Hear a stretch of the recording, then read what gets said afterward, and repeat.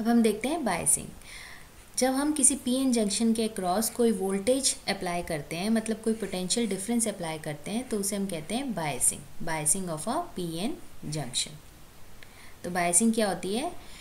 Applying voltage across a P N junction is known as biasing अब biasing two types की होती है. एक होगी आपकी फॉरवर्ड बायसिंग दूसरी होती है रिवर्स बायसिंग तो आप बायसिंग को कैसे डिफाइन कर सकते हो? तो आप इसको कैसे डिफाइन कर सकते हो? When a P N junction is connected across an electric supply the junction is set to be under biasing मतलब आप कोई पी एन जंक्शन के अक्रॉस कोई इलेक्ट्रिक सप्लाई अप्लाई करते हो मतलब कोई वोल्टेज अप्लाई करते हो तो उसे हम कहते हैं biasing of a P N junction अब हम देखते हैं फॉरवर्ड बाइसिंग फॉरवर्ड बाइसिंग में क्या होता है? बाइसिंग क्या होता है? कि अगर आप कोई पोटेंशियल डिफरेंस अप्लाई करते हो पीएन जंक्शन के अक्रॉस उसे कहते हैं बाइसिंग अब फॉरवर्ड बाइसिंग में क्या होता है? कि जब आप positive terminal of the battery connect करते हो पी टाइप से मतलब ये पॉजिटिव टर्मिनल आप कनेक्ट करो पी टाइप सेमीकंडक्टर से और उसका नेगेटिव टर्मिनल बैटरी का कनेक्ट करते हो एन टाइप सेमीकंडक्टर से इन पी एन जंक्शन में तो हम उसे कहते हैं कि पी एन जंक्शन कौन सी स्टेट में है? फॉरवर्ड बाइसिंग स्टेट में तो फॉरवर्ड बाइसिंग आप कैसे डिफाइन कर सकते हो? When a positive terminal of the battery is connected to P type and negative terminal of the battery is connected to N type of a P N junction then the junction is set to be in forward biasing ठीक है? तो मतलब P N junction में अगर P type semiconductor को आप connect करते हो पॉजिटिव से और एन टाइप को कनेक्ट करते हो नेगेटिव से तो पी एन जंक्शन कौन सी पोजीशन में होगा? मतलब कौन सी कंडीशन में होगा? इन फॉरवर्ड बाइसिंग स्टेट में होगा। ठीक है? अब हमने क्या करा? पी एन जंक्शन के क्रॉस एक पोटेंशियल डिफरेंस अप्लाई कर दिया। इसका पॉजिटिव टर्मिनल कनेक्ट कर दिया पी से और नेगेटिव कनेक्ट कर दिया एन से। अब पी टाइप सेमीकंडक्टर में हमारे पास मेजॉरिटी में होल्स, ठीक है? और एन टाइप में मेजॉरिटी में जो चार्ज कैरियर्स हैं वो हैं इलेक्ट्रॉन्स अब जैसे पी टर्मिनल हमने कनेक्ट करा पी से तो ये एग्जर्ट करेगा फोर्स इन होल्स पे, क्योंकि पॉजिटिव पॉजिटिव रिपेल करते हैं एक दूसरे को तो ये पॉजिटिव टर्मिनल इन होल्स को रिपेल करेगा, जिसकी वजह से क्या होगा, ये होल्स जंक्शन की तरफ़ जाएँगे। उसी तरह जो नेगेटिव टर्मिनल है, ये यहाँ पर इन इलेक्ट्रॉन्स पे फोर्स लगाएगा प्रेशर लगाएगा, जिससे क्या होगा, क्योंकि नेगेटिव नेगेटिव है, एक दूसरे को रिपेल करेंगे तो ये इलेक्ट्रॉन्स क्या होंगे, ये जंक्शन की तरफ़ जाएँगे। अब उससे क्या होगा कि कुछ होल्स इस डिप्लेशन रीजन को क्रॉस कर जाएँगे और एन रीजन में चले जाएँगे। उसी तरह कुछ इलेक्ट्रॉन्स यहाँ से डिप्लेशन लेयर लेयर को क्रॉस करके पी रीजन में चले जाएँगे। ठीक है, वहाँ जाके डिफ्यूज़ हो जाएँगे। तो उससे क्या होगा, जो हमारी जो डिप्लीशन लेयर है, ये रिड्यूज़ हो जाएगी। तो पहले हमारी इतनी थी, अब ये रिड्यूस होके इतनी हो जाएगी। ठीक है मतलब क्या होगा, जब हम पोटेंशियल डिफरेंस इसके क्रॉस अप्लाई करेंगे तो हमारी डिप्लीशन लेयर रिड्यूस हो जाएगी। डिप्लीशन लेयर रिड्यूस हो गई मतलब हमारा पोटेंशियल बैरियर जो वी वोल्ट है, ये रिड्यूस हो जाएगा। कैसे? देखते हैं। अब देखो, ये हमारे पास पी एन जंक्शन था, ये पी टाइप सेमीकंडक्टर ये एन ये होगी हमारे पास डिप्लीशन लेयर अब यहाँ पर था हमारे पास पोटेंशियल बैरियर वी वोल्ट तो इसको ग्राफ की टर्म्स में देखते हैं।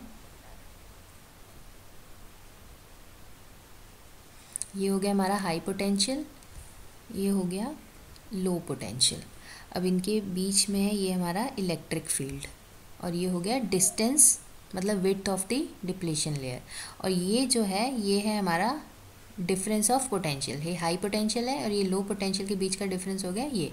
इसे हम रिप्रेजेंट करते हैं वी से. तो ये है पोटेंशियल बैरियर इसे कहते हैं हम हाइट ऑफ़ बैरियर तो अब देखो इस टाइम पे जब हमारे पास डिप्लेशन लेयर इतनी है ये हो गया हमारा डिस्टेंस ये हो गया इलेक्ट्रिक फ़ील्ड तो हमारा पोटेंशियल बैरियर कितना है? वी वोल्ट ठीक है, अब हमने इस पी एन जंक्शन के अक्रॉस अप्लाई करा पोटेंशियल डिफरेंस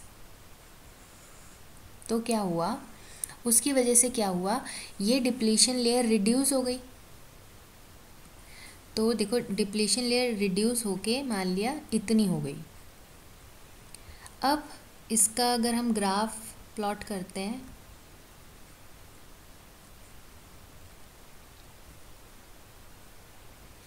तो यहाँ पर ये हो गया हमारा इसका हाई पोटेंशियल मतलब ये हाई पोटेंशियल हो गया और यहाँ हो गया ये हमारे पास लो पोटेंशियल इसके बीच हो गई हमारी इलेक्ट्रिक फ़ील्ड और ये हो गया डिस्टेंस अब ये डिस्टेंस हो गया हमारा ये डी वन और यहाँ पर हमारे पास जो डिफरेंस ऑफ़ पोटेंशियल रह गया इतना. ठीक है? पहले कितना था? यहाँ से लेकर यहाँ तक वी वोल्ट अब रह गया हमारे पास ये ये वाला पोर्शन तो इस, ये वोल्टेज होगी मान लिया वी वन अब देखो ये V one less than V है मतलब हमारा पोटेंशियल बैरियर अब रिड्यूस हो गया, क्योंकि हमारी डिप्लीशन लेयर जो रीजन है वो रिड्यूस हो गई, उससे क्या हुआ? जो हमारे पास पोटेंशियल बैरियर था वो रिड्यूस हो गया। तो मतलब V one is less than V हमारे पास पहले पोटेंशियल बैरियर था वी वोल्ट अब रह गया वी वन ठीक है? किस वजह से? क्योंकि हमने यहाँ पर फॉरवर्ड बाइसिंग अप्लाई करी मतलब एक पोटेंशियल डिफरेंस अप्लाई करा, उसकी वजह से हमारी डिप्लेशन लेयर रिड्यूस हो गई। अगर फर्दर हम इस वोल्टेज को इंक्रीज़ करते हैं यहाँ पर, जो एक्सटर्नल हम वोल्टेज अप्लाई कर रहे हैं तो इसके इंक्रीज़ होने से क्या होगा? फिर से डिप्लेशन लेयर मतलब रीजन हमारा और कम होता चला जाएगा। तो एक ऐसी कंडीशन आएगी, जब हम यहाँ पर जो एक्सटर्नल वोल्टेज इतनी बढ़ा देंगे कि जो हमारी पूरी जो डिप्लीशन लेयर है, ये वाली, ये ख़त्म हो जाएगी पूरी। तो कोई भी मतलब डिप्लीशन लेयर यहाँ पर नहीं रहेगी। तो उस टाइम पे क्या होगा? मतलब जब हम यहाँ पर इतनी वोल्टेज अप्लाई करें कि वो हमारे पोटेंशियल बैरियर के इक्वल हो जाए तो उस टाइम पे क्या होगा? हमारे पास कोई डिप्लीशन लेयर यहाँ पर नहीं रहेगी। जब डिप्लीशन लेयर नहीं रहेगी तो क्या होगा, जो हमारे पास जो यहाँ पर मेजॉरिटी चार्ज कैरियर्स हैं, ये इजीली डिफ्यूज़ हो जाएँगे। यहाँ पर इलेक्ट्रॉन्स हैं तो आपस में डिफ्यूज़ हो जाएँगे और करंट फ्लो होनी शुरू हो जाएगी। क्योंकि अब देखो इलेक्ट्रॉन यहाँ, जब हमारे पास कोई डिप्लीशन लेयर नहीं रह जाएगी, देखते हैं इसको। अब जैसी हमारी जो एक्सटर्नल वोल्टेज है, अगर ये पोटेंशियल बैरियर के इक्वल हो जाती है तो उस केस में क्या होगा, यहाँ पर जो हमारी डिप्लीशन लेयर है, वो ख़त्म हो जाएगी। अब जब डिप्लीशन लेयर ख़त्म हो गई तो जो मेजॉरिटी चार्ज कैरियर्स हैं, आपस में डिफ्यूज़ होना शुरू हो जाएँगे। तो इलेक्ट्रॉन डिफ्यूज़ हो जाएगा होल में तो इस तरीके से इलेक्ट्रॉन मूव करना शुरू कर देगा। जब मतलब इलेक्ट्रॉन मूव कर रहा है मीन्स करंट फ्लो हो रही है। तो पूरे सर्किट में करंट फ्लो होनी शुरू हो जाएगी। तो P N junction as a conductor behave करना, करने लग जाएगा इन फॉरवर्ड बायसिंग में। ठीक है? अब जैसी जैसी हम यहाँ पर वोल्टेज इंक्रीज़ करते जाएँगे उतनी ही हमारी करंट हमारी सर्किट में इंक्रीज़ होती जाएगी। उतने ही हमारे चार्ज कैरियर डिफ्यूज़ होते जाएँगे और उतनी करंट इंक्रीज़ होती जाएगी। तो इस तरीके से एक पी जंक्शन बिहेव करेगा इन फॉरवर्ड बायसिंग तो एज अ कंडक्टर बिहेव करेगा इन फॉरवर्ड बायस कंडीशन